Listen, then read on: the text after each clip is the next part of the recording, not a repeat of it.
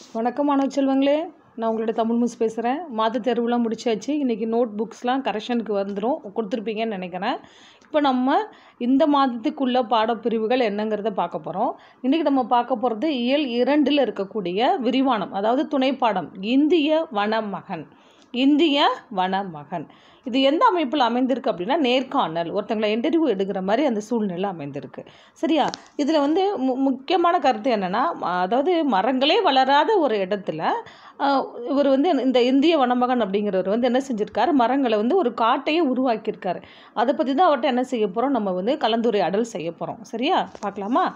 நுழையும் முன். மனித முயற்சியின்றி உருவாகிய வானளாவிய மரங்களும் அடர்ந்த செடி கொடிகளும் நிறைந்த இடமே காடு. நம்ம காடுங்கிற பகுதியில் பார்த்துருக்கோம் இல்லையா? மனித முயற்சி இல்லாமல் அதுவே உருவாகக்கூடியது தான் காடு. ஆனால் பிரம்மபுத்திரா ஆற்றின் நடுவில் உள்ள மணல் தீவில் அமைந்த இந்த காடு சற்று வேறுபட்டது. இந்த இந்திய வனமகன் அப்படிங்கிறவர் உருவாக்கின காடு எங்கே இருக்குது அப்படின்னா பிரம்மபுத்திரா ஆற்றுக்கு நடுவில் உள்ள மணல் தீவில். மணல் தீவுகளில் மூங்கில் மட்டுமே வளர வாய்ப்பு உண்டு என்பர். மணல் தீவில் வந்து மூங்கில் மரம் மட்டும்தான் என்ன செய்யுமா? வளரும். இந்த புல்லாங்குழல்லாம் செய்வோம் இல்லையா? அந்த மரம் மட்டும்தான் வளரும். ஆனால் பல்வகை மரங்கள் நிறைந்த இந்த காட்டை ஒரு தனி மனிதர் உருவாக்கி உள்ளார். அவரை சந்திப்போம். ஓர் அடர்ந்த காடு. காட்டின் நடுவில் மூங்கிலால் அமைந்த ஒரு வீடு. வீட்டினுள் சிலர் உறங்கிக் கொண்டிருக்கின்றனர். அப்போது யானைகள் பிளிரும் ஓசை கேட்கிறது. வீட்டினுள் உறங்கிக் கொண்டிருந்த குடும்பத் தலைவர் வெளியில் வந்து பார்க்கின்றார். ஒரு அடர்ந்த காடு காட்டுக்கு நடுவில் ஒரு மூங்கிலால் செய்யப்பட்ட ஒரு மூங்கில் வீடு. அந்த வீட்டில் எல்லாரும் தூங்கிட்டு இருக்காங்க. திடீர்னு யானைகள் பிளிரக்கூடிய சத்தம் கேட்குது அதை கேட்டு வீட்டில் இருக்கக்கூடிய குடும்பத் தலைவர் வெளியே வந்து பார்க்குறாரு. நள்ளிரவுனர் நடு ராத்திரி என்பதால் ஒன்றும் சரியாக தெரியவில்லை. ஆனாலும் சில யானைகள் அவர் வீட்டை நோக்கி வருவதை தனது நுண்ணறிவால் தெரிந்து கொள்கிறார். தன்னுடைய நுண்ணறிவால் தெரிஞ்சுக்கிறார். உடனே வீட்டுக்குள் சென்று மற்றவர்களை எழுப்பி வீட்டை விட்டு வெளியேற்றி பாதுகாப்பான இடத்திற்கு அழைத்துச் செல்கிறார். யானைகள் அவருடைய மூங்கில் வீட்டை அடித்து உடைக்கின்றன என்ன செய்து? அந்த வீட்டை அடித்து உதை உதைக்கின்றன. தூரத்திலிருந்து இக்காட்சியை பார்த்த குடும்பத் தலைவர் மகிழ்ச்சியில் ஆனந்த கண்ணீர் வெடிக்கின்றார். என்ன மிஸ் இப்படி சொல்றீங்கன்னு கேட்கலாம். என்ன மிஸ் ஒருத்த ஒரு யானைகள் வந்து ஒரு வீட்டை அழிக்குது அதை பார்த்து அவர் ஆனந்த கண்ணீர் வடிக்கிறாருன்னு சொல்கிறீங்களேன்னு கேட்கலாம். அது காரணம் இருக்குது பின்னால் பாருங்கள் யானைகள் தனது வீட்டை அடித்து நொறுக்குவதை கண்ட ஒருவரால் மகிழ்ச்சி அடைய முடியுமா? ஆனால் அவர் சந்தோஷமாக இருக்கார். யார் அவர்? அவர் தான் ஜாதவ் பையங் அப்படிங்கிறவர் அவர் தான் இந்திய வனமகன் அவருடைய பெயர் என்ன? ஜாதவ் பையங். ஆம் அவ்வாறு மகிழ்ச்சி அடைந்தவர் தான் அஸ்ஸாம் மாநிலத்தில் ஜோர்விராட் மாவட்டத்தைச் சேர்ந்த ஜாதவ் பையன். அவர் எந்த மாநிலத்தை சார்ந்தவர்னா அஸ்ஸாம் மாநிலத்தில் இல்லை ஜோர்விராட் அப்படிங்கிற மாவட்டத்தைச் சேர்ந்த ஜாதவ் பையன். அந்த இந்திய வனமகன் யார்? அவருடைய பெயர் என்ன? ஜாதவ் பையன். அவர் பிரம்மபுத்திரா ஆற்றின் நடுவில் உள்ள மிகப்பெரிய தீவில் முப்பது ஆண்டுகள் தனது கடின உழைப்பால் ஒரு காட்டை உருவாக்கியவர். எத்தனை ஆண்டுகள்? முப்பது ஆண்டுகள் ஒரு காட்டை உருவாக்கியிருக்காரு. அந்த காட்டில் என்ன மட்டும்தான் வளரும்னு சொன்னால் மூங்கில் மட்டும்தான் வளரும். ஆனால் இவர் பல விதமான மரங்களையும் அங்கே வளர்த்து வச்சுருக்காரு.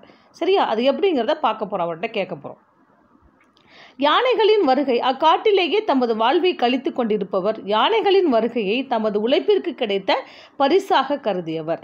இந்தியாவின் வனமகன் என்று அழைக்கப்படும் அவருடன் உரையாடுவோம். இந்தியாவின் வனமகன் என்று அழைக்கப்படுபவர் யாரு? ஜாதவ் பையங் அவருடன் என்ன செய்ய போகிறோம் உரையாடல் செய்ய போகிறோம் இப்போ அந்த வனமகன்ட்ட உரையாடுவோமா? வணக்கம் ஐயா.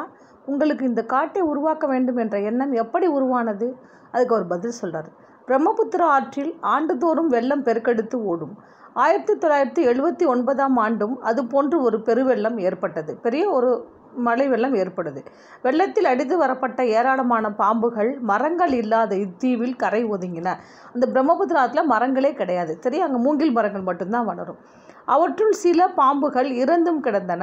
பல பாம்புகள் வெப்பம் தாங்காமல் உயிருக்கு போராடி கொண்டிருந்தன. இந்த காட்சி என்னை மிகவும் பாதித்தது அப்படின்னு சொன்னார் அதாவது பிரம்மபுத்திரா ஆற்றில் ஆண்டுதோறும் வெள்ளப்பெருக்கு ஏற்படும். அப்படி ஆயிரத்தி தொள்ளாயிரத்தி எழுபத்தி ஒன்பதில் ஏற்படுத்த வெள்ளப்பெருக்கில் அடுத்து வரப்பட்ட பாம்புகள் மரங்கள் இல்லாத இந்த தீவில் கரை ஒதுங்குச்சு. அவற்றில் சில இறந்து போச்சு சில வந்து வெப்பம் தாங்காமல் உயிருக்கு போராட்டிக்கிட்டு இருந்துச்சு. இந்த காட்சியை பார்க்க எனக்கு ஒரு மனசு ரொம்ப பாதிச்சு போச்சு. ஊருக்குள் சென்று பெரியவர்களிடம் இதை பற்றி பேசினேன். தீவில் மரங்கள் இல்லை அதனால் தான் பாம்புகள் மடிந்து போகின்றன. அதற்கு நாம் ஒன்றும் செய்ய முடியாது என்று கூறிவிட்டனர்.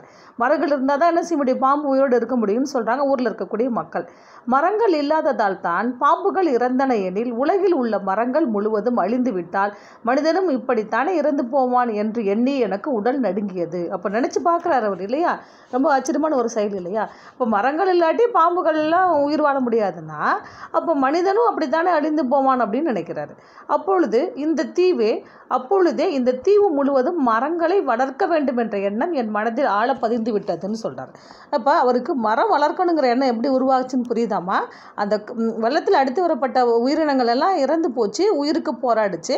அதை பார்த்து அவர் என்ன செஞ்சார்? நமக்கும் அப்படி ஒரு நிலைமை தான் அப்படின்னு சொல்லி என்ன செய்கிறாரு இந்த தீவு முழுவதும் மரங்களை உருவாக்க வேண்டும் அப்படிங்கிற எண்ணம் மனசில் பதிந்ததாக சொல்கிறார் உங்கள் எண்ணத்திற்கு ஊர் மக்கள் எப்படி உதவி செய்தனர் அப்படின்னு கேட்குறாங்க ஊர் மக்களிடம் அத்தீவில் மரங்கள் வளர்க்கலாம் என்று நான் கூறிய போது அதை யாரும் ஏற்கலை யா- ஒத்துக்கல. அத்தீவில் மரங்களை வளர்க்கவே முடியாது போய் உன் வேலையை பார் என்று கூறிவிட்டனர். ஏதாவது ஒரு நல்ல செயல் செய்யணும்னா மக்கள் என்ன செய்ய மாட்டாங்க? ஒத்துழைப்பு தர மாட்டாங்க. அதுபோல தான் இவருக்கும் நடந்துச்சு. பிறகு என்ன செய்தீர்கள் ஐயா? நான் கைகளில் கிடைத்த விதையை எடுத்துக்கொண்டு இத்தீவிற்கு வந்தேன். விதை எடுத்துட்டு வர்றாரு. இங்கு அவற்றை விதைத்து நாள்தோறும் தண்ணீர் ஊற்றி வந்தேன். ஆயினும் ஒரு விதை கூட முளைக்கவில்லை. பிறகு வனத்துறையினரை அணுகி என்ன செய்யலாம் என்று கேட்டபோது ஃபாரஸ்ட் ஆஃபீஸர்ஸ் அவங்க தான் வனத்துறை. அவர்கள் அத்தீவில் மூங்கில் மரம் மட்டுமே வளரும் என்று கூறினர். அந்த பிரம்மபுத்திரா ஆற்றுக்கரையில் மூங்கில் அது மணல் பகுதி இல்லையா? அங்கே மூங்கில் மட்டும்தான் வளரும்னு சொல்கிறாங்க எனக்கு உடனே உற்சாகம் பிறந்து விட்டது. மூங்கில்களை கொண்டு வந்து அவற்றை இங்கு நட்டு வளர வளர்க்கத் தொடங்கினேன். அவை விரிந்து வளரத் தொடங்கினா. இனிமேல் இத்தீவில் மரம் வளர்ப்பது ஒன்றே எனது வேலை என்று அப்பொழுதே முடிவு செய்து விட்டேன் அப்படின்னு சொல்லி சொல்கிறார் சரியா? அப்போ அவருக்கு எப்படி அந்த எண்ணம் தோணுது? அதுக்கு உதவி செய்தவங்க யார்? அவர் என்ன செய்கிறார் எப்படி அந்த மூங்கில் தீவை உருவாக்குறாருன்னு பாருங்கள் மூங்கில் மட்டுமே நட்டதாக கூறுகிறீர்கள். ஆனால் இந்த காடு முழுவதும் வெவ்வேறு மரங்கள் வளர்ந்துள்ளனவே எப்படி ஐயான்னு கேட்குறாங்க எங்கள் பகுதியில் அரசு சமூக காடுகள் வளர்ப்பு திட்டம் ஒன்றை செயல்படுத்தியது. அரசு என்ன செஞ்சு? சமூக காடுகள் வளர்ப்பு திட்டம் ஒன்றை செயல்படுத்தியது. அதில் வந்து இவர் என்ன செஞ்சுக்கிறார்? தன்னை இணைத்துக் கொள்கிறார் இந்த ஜாதவ் சரியா? அவர்களுடன் இணைந்து இத்தீவு முழுவதும் பல்வேறு மரங்களை நடத் தொடங்கினேன். அந்த திட்டம் மூன்று ஆண்டுகளில் முடிந்துவிட்டது. நான் மட்டும் இங்கேயே தங்கியிருந்து அனைத்து மரக்கன்றுகளையும் பாதுகாத்து வந்தேன். ஆனால் மூங்கிலை தவிர வேறு எந்த மரமும் வளரவில்லை. அப்போதுதான் அஸ்ஸாம் வேளாண்மை பல்கலைக்கழக பேராசிரியர் ஜாதுநாத் அவர்களின் நினைவு எனக்கு வந்தது. சிறு வயதிலிருந்தே எனக்கு அவரை தெரியும். அவரிடம் சென்று என்னுடைய மரம் வளர்க்கும் திட்டம் பற்றி கூறினேன். உடனே அவர் மணல் பரப்பில் மற்ற மரங்கள் வளர வேண்டுமெனில் மண்ணின் தன்மையை அதற்கேற்ப மாற்ற வேண்டும் அப்படின்னு சொல்கிறாரு ஏன் மண்ணின் தன்மையை மாற்றணும் அங்கே வந்து மூங்கில் மரம் மட்டும்தான் வளருது. அப்போ என்ன செய்யறது? அந்த வேளாண்மை பல்கலைக்கழக பேராசிரியர் என்ன சொல்கிறாரு ஜாதுநாத் அப்படிங்கிறவர் எனக்கு சின்ன வயசுலேயே தெரியும் அவர்கிட்ட கேட்டதுனால அவர் என்ன சொல்கிறாரு மண்ணிலுடைய மணல் பரப்பின் மாற்ற மற்ற மரங்கள் நட வேண்டுமெனில் மண்ணின் தன்மையை மாற்றணும்னு சொல்கிறாரு அதற்கு என்ன தேவைன்னு சொல்கிறாரு மண்புழுக்கள் மட்டுமன்றி சிகப்பு கட்டரும்புகளும் உதவும் என்று கூறினார். அப்போ மண்புழுக்களும் சிவப்பு கட்டரும்புகளும் இதற்கு தேவை அப்படின்னு சொல்லி அந்த ஜாதுநாத் அப்படிங்கிற ஒரு பேராசிரியர் சொல்கிறார் அடுத்தும் அந்த காட்டில் ம கட்டெரும்புகளும் மண்புழுவும் வரணும்னு சொல்கிறாங்க இப்போ இவங்க கேட்குறாங்க கட்டெரும்புகளா? அவை கடித்தால் உடம்பில் கடுமையான எரிச்சல் ஏற்படுமே. ஆமாம்.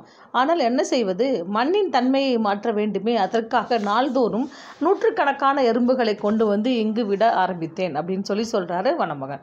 கட்டெரும்புகள் ஊர்ந்து செல்ல செல்ல மண்ணின் தன்மை சிறிது சிறிதாக மாறத் தொடங்கியது. அதாவது மூங்கில் மட்டுமே வளரக்கூடிய அந்த காட்டில் இந்த கட்டெரும்புகளின் மண்புழுக்களின் முயற்சியினால் அதை விட்டதுனால என்ன ஆகுது? மண்ணினுடைய தன்மை மாறுது. காடுகளில் ஆங்காங்கே பச்சை பொருட்கள் தலை காட்டத் தொடங்கின. எங்க சின்ன சின்ன பொருட்கள் என்ன செய்யுது வளர தொடங்குது. அப்பொழுது எனக்கு ஏற்பட்ட மகிழ்ச்சிக்கு அளவே இல்லை. எவ்வளோ சந்தோஷமாக இருக்கும் இல்லையா? அதன் பின்பு நான் நட்ட மரங்கள் அனைத்தும் வளர்ந்தன அப்படின்னு சொல்லி சொல்கிறார் அப்போ இதுக்கு காரணம் என்ன? மண்ணினுடைய தன்மையை மாற்றுறதுக்கு இந்த கட்டரும்புகளும் மண்புழுக்களும் தான் தேவை அப்படின்னு சொல்லி நமக்கு தெரிஞ்சுக்கிறோம் இல்லையா? இவ்வளவு மரங்களை வளர்ப்பதற்கு விதைகளும் உரமும் உங்களுக்கு எப்படி கிடைத்தனன்னு கேட்குறாங்க கால்நடைகள் வளர்ப்பது தான் என்னுடைய வேலை. ஒரு பெரிய காட்டை உருவாக்கியிருக்கீங்க இல்லையா? அப்போ உங்களுக்கு வளர்க்குறதுக்கு எப்படி தேவைப்பட்டுச்சு? உரலாம் உங்களுக்கு எப்படி கிடைச்சிச்சுன்னு சொல்கிறாங்க அவர் நிறைய ஆடு மாடுகளை வளர்ப்பது தான் அவருடைய வேலை. அவற்றுடைய சாணம் ஒரு துளி கூட வீணாக்காமல் இயற்கை உரம் தயாரிக்க தொடங்கினேன். இயற்கையாக உரம் தயாரிக்க தொடங்கினேன். ஒரு பழம் சாப்பிட்டால் கூட அதன் கொட்டையை வீசி எறியாமல் விதையாக சேர்த்து வைத்தேன். பிறகு மழைக்காலம் தொடங்குவதற்கு முன் விதைகளை எடுத்து இத்தீவில் தூவத் தொடங்கினேன். அதாவது சாணத்தை வந்து இயற்கை உரம் தயாரிக்கிறாரு. ஒரு ஒரு சிறிய பழத்தை சாப்பிட்டா கூட அது கொட்டையை வீசி எறியாமல் விதையாக சேர்த்து வைக்கிறார். மழை வர்றதுக்கு முன்னாடி அந்த விதைகளை நட்டு வச்சிடறாரு. அந்த தீவில் தூவ தொடங்குறாரு. இப்படி ஒவ்வொரு ஆண்டும் நான் தூவிய விதைகள் தான் இப்போது நீங்கள் பார்த்து கொண்டிருக்கும் இந்த காடு. முப்பது வருஷமாக அவர் இந்த செயலை செஞ்சுட்டு வராரு. ரொம்ப ஆச்சரியமான ஒரு செயல் இல்லையா? மழை இல்லாத காலங்களில் செடிக்கு எப்படி தண்ணீர் ஊற்றினீர்கள் அப்படின்னு கேட்குறாங்க ஆற்றின் கரையோரம் இருந்த செடிகளுக்கு தண்ணீர் ஊற்றுவதில் எனக்கு சிக்கல் ஏற்படலை. ஆனால் தொலைவில் உள்ள செடிகளுக்கு நீர் ஊற்றுவது சற்று கடினமான செயலாக இருந்தது. அதற்கு ஒரு வழியை கண்டுபிடிச்சேன். என்ன வழி தெரியுமா? அது செடியை சுற்றி மூங்கில் குச்சிகளை நட்டு வைத்து அதில் ஒரு பானையை பொருத்தினேன். செடி ஒவ்வொரு செடிக்கும் அதை சுற்றி மூங்கில் குச்சிகளை நட்டு வச்சு அது மேலே ஒரு பானை. அந்த பானையில் சிறு திளு துளை ஓட்டை போட்டுட்டு நீர் சொட்டு சொட்டாக வடிவதற்கான ஏற்பாடுகளை செய்தேன். ஒவ்வொரு செடிக்கும் இந்த மாதிரி ஒரு மூங்கில் குச்சிகளை நட்டு அது மேலே ஒரு பானையில் ஒரு சின்ன ஓட்டை போட்டு தண்ணி சொட்டு சொட்டாக வடிகிற மாதிரி ஏற்பாடு செஞ்சுருக்காரு. பிறகு அதில் தண்ணீர் நிரப்பினால் ஒரு வாரத்திற்கு சிக்கல் இருக்காது. இப்படித்தான் மற்ற செடிகளை வளர்த்து வந்தேன். எவ்வளோ ஆச்சரியமான ஒரு செயல் இல்லையா? மரமே வளராத ஒரு காட்டில் முப்பது ஆண்டுகளாக ஒரு காட்டையே உருவாக்கியிருக்காரு பிரம்மபுத்திரா ஆற்றின் கரையில். சரி அது வந்து மணல் தீவு. அந்த மணல் தீவில் இத்தகைய காட்டை உருவாக்குனது ரொம்ப ஆச்சரியமான ஒரு செயல் இல்லையா? சரி உங்கள் வீட்டிற்கு யானை வந்த கதையை கூறுங்களேன் அப்படின்னு கேட்குறாங்க நான் நட்ட செடிகள் முழுவதும் மரங்களாக வளரத் தொடங்கிய போது அவற்றில் பறவைகள் வந்து தங்கின.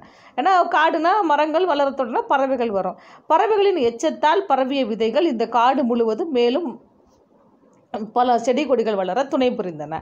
பிறகு முயல் மான் காட்டு மாடுகள் என விலங்குகள் பலவும் வரத் தொடங்கின. ஏன்னா மரங்கள் செடி கொடிகள் இருந்தால் பழங்கள் தான் நினச்சி எல்லா விலங்குகளும் வரத் தொடங்குது. எவ்வளோ ஒரு ஆச்சரியமான ஒரு செயல் இல்லையா?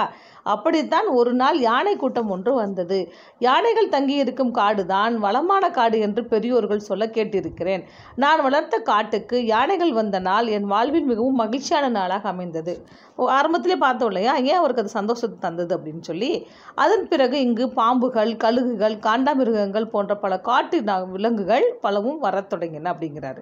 நிறைவாக காட்டின் வளம் என்று குறிப்பிடப்படும் புலியும் இங்கு வந்து தங்கத் தொடங்கி நம்ம பார்த்துருக்கோம்ல முண்டந்துறை புலிகள் காப்பகத்தில் அது அந்த புலிகள் கூட வந்து என்ன செஞ்சா இங்கு தங்க தொடங்கியது அப்படிங்கிறாங்க. தெரிந்து கொள்வோம் பாருங்கள் அதில் கொஸ்டின் ஆன்சர்ஸ்லாம் வருதுமா ரெண்டாயிரத்தி பன்னிரெண்டாம் ஆண்டு ஜவஹர்லால் நேரு பல்கலைக்கழகம் ஜாதவுக்கு இந்திய வனமகன் என்னும் பட்டத்தை வழங்கியுள்ளது. எந்த ஆண்டு? ரெண்டாயிரத்தி பன்னிரெண்டாம் ஆண்டு. எந்த பல்கலைக்கழகம்? ஜவஹர்லால் நேரு பல்கலைக்கழகம். யாருக்கு? ஜாதவ்க்கு. ஜாதவ் பயங் அதான் ஜாதவ். என்ன பட்டம்? இந்திய வனமகன் அப்படிங்கிற பட்டத்தை வழங்கியுள்ளது. அடுத்து இரண்டாயிரத்தி பதினைந்தாம் ஆண்டு இந்திய அரசு பத்மஸ்ரீ விருதை வழங்கியுள்ளது. யாருக்கு? ஜாதவ்க்கு. எந்த அரசு? இந்திய அரசு. எந்த ஆண்டு? ரெண்டாயிரத்தி பதினைந்தாம் ஆண்டு. என்ன விருது? பத்மஸ்ரீ விருது. அடுத்து ஹவுகாத்தி பல்கலைக்கழகம். மதிப்பூர் முனைவர் பட்டம் வழங்கியுள்ளது. முனைவர் பட்டம்னா டாக்டரேட் பட்டம். சரியா? எந்த பல்கலைக்கழகம்? ஹவுகாத்தி பல்கலைக்கழகம். இதெல்லாம் நீங்கள் கொஞ்சம் தெரிஞ்சு வச்சுக்கணும். அவர் புலிகள் இருக்குது அப்படின்னோன்னே கேட்குறாங்க அவங்க பேட்டி எடுக்க வந்தவங்க. புலிகளும் இந்த காட்டில் உள்ளனவா? உங்களுக்கு அச்சமாக இல்லையா? இல்லை புலிகள் வந்த பிறகு தான் இக்காட்டின் உணவுச் சங்கிலி நிறைவடைந்தது. நான் புலிகளுக்கு தொல்லை இல்லாமல் எனது பாதைகளை வகுத்து கொண்டு இக்காட்டை பாதுகாத்து வருகிறேன். நம்ம முண்டந்துறை புலிகள் காப்பகத்திலே பார்த்தோம். அது தனக்குன்னு ஒரு எல்லையை உருவாக்கிக்கும். த தன்னுடைய குட்டிகளையும் அப்படியே உருவாக்கி பழக்கி விட்டுடும். தனக்கு தேவையான உணவு கிடச்சிருச்சுன்னா தேவையில்லாமல் மற்ற உயிரினங்கள் என்ன செய்யாது? கொல்லாது அப்படிங்கிறத நம்ம பார்த்தோம். அப்போ இவர் நினச்சிறாரு அதுக்கு தொந்தரவு இல்லாமல் ஒரு பா பாதை அமைச்சுக்கிட்டு நான் அந்த காட்டை பாதுகாத்துட்டு வரேன்னு சொல்கிறாரு இது மிக கடினமான பணி. மற்றவர்களுக்கு எப்படி தெரிந்தது அப்படின்னு கே- ரொம்ப இது வந்து கஷ்டமான வேலையாச்சே. மற்றவங்களுக்கு எப்படி உங்கள் காட்டை பற்றி தெரிஞ்சது அப்படின்னு கேட்குறாங்க ஜிட்டு கலிட்டா என்னும் வனவிலங்கு ஆர்வலர் என்னுடைய காட்டை பற்றி கேள்விப்பட்டு இங்கு வந்தார். அவர் நான் இந்த காட்டை உருவாக்கிய முறையை அவரிடம் கூறினேன்.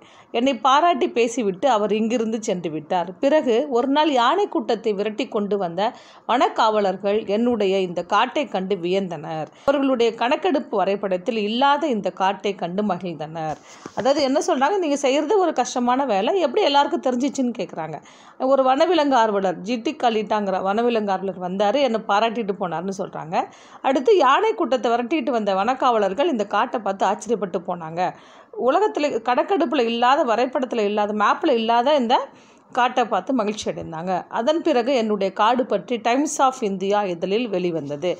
டைம்ஸ் ஆஃப் இந்தியா இதழில் வெளிவந்தது அப்படின்னு சொல்லி சொல்கிறாரு மிக்க மகிழ்ச்சி ஐயா. அடுத்து உங்களுடைய பணி என்ன அப்படின்னு கேட்குறாங்க இத்தீவின் மற்றொரு பகுதியில் இன்னொரு காட்டை உருவாக்க தொடங்கி இருக்கிறேன் எப்படி அதற்கும் முப்பது ஆண்டுகள் ஆகலாம். ஏன்னா இந்த ஒரு காட்டை உருவாக்க முப்பது வருஷம் ஆச்சு. அடுத்த காட்டை உருவாக்குறதுக்கு முப்பது வருஷங்கள் வருடங்கள் ஆகலாம். அதற்கு எ- உதவ என்னுடைய மனைவியும் குழந்தைகளும் இருக்கின்றார்கள். அதனால் அங்கு உறுதியாக ஒரு காட்டை உருவாக்குவேன் அப்படின்னு சொல்லி சொல்கிறாரு உங்களுடைய இந்த திட்டத்தை கேட்கும் பொழுது உங்களை மிகவும் பாராட்ட தோன்றுகிறது ஐயா அப்படிங்கிறாங்க. ஒரு அவர் என்ன சொல்கிறாரு நீங்கள் என்னை பாராட்ட வேண்டுமெனில் ஆளுக்கு இரண்டு மரக்கன்றுகளை நட்டு வளருங்கள். அதுவே எனக்கு போதும் அப்படிங்கிறார். நீங்கள் என்னை பாராட்டெல்லாம் வேணாம். மரத்தை நட்டு என்ன செய்யுங்க? மரக்கன்றுகளை நட்டு வளருங்கன்னு சொல்கிறார் உறுதியாக ஐயா உங்களோடு பேசிய பிறகு நானும் கட்டாயம் மரக்கன்றுகளை நட்டு வளரத் தொடங்குவேன். உங்கள் பணி மேலும் தொடரட்டும். இன்னும் சிறப்படைய வாழ்த்துகிறேன். நான் சென்று வருகிறேன் ஐயா. நன்றின்னு சொல்லி போயிடுறார். அப்போ ஜாதா பயங் போன்று நாமும் ஒரு காட்டை உருவாக்க முயலுவோம். அதற்கு அடையாளமாக நம் வீட்டை சுற்றி ஒரு சில மரங்களை நட்டு வளர்ப்போம். அதற்கு நாம் அனைவரும் உறுதிமொழி ஏற்போம். நாம் எடுக்கக்கூடிய உறுதிமொழி என்ன? மரம் வளர்ப்போம் மழை பெறுவோம் நாட்டின் வளம் காப்போம். மரம் வளர்ப்போம் மழை பெறுவோம் நாட்டின் வளம் காப்போம். இந்த துணைப்பாடம் புரிஞ்சுதுங்களா? அதாவது மணல் தீவு அங்கே வந்து எந்த செடியுமே வளராத நிலையில் மூங்கில் மட்டும்தான் வரும் அப்படிங்கிற நிலையில் முப்பது வருஷங்களாக கடினமாக பாடுபட்டு ஒரு காட்டை அவர் உருவாக்கியிருக்கார். அப்போ நாம் எடுத்துக்கூடிய உறுதிமொழி என்ன? மரம் வளர்ப்போம் மழை பெறுவோம் நாட்டின் வளம் காப்போம். நன்றி மாணவர்களே அடுத்த வாரம் சந்திக்கலாம்.